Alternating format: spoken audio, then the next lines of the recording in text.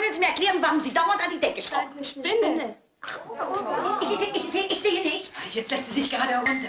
Lässt sich schon, lässt sich schon runter. Ach, Graf, holen Sie einen Besen, damit wir das liebe kleine Tierchen befreien können. Ja, ja, sofort, Frau Doktor. Aber kehren wir nun zu unserem Thema. Ich möchte ein Zitat von Charles Darwin einfügen.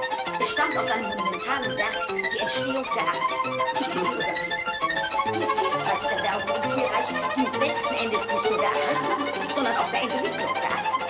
Ihnen jetzt dazu einige besonders prägnante Beispiele geben, über die wir ganz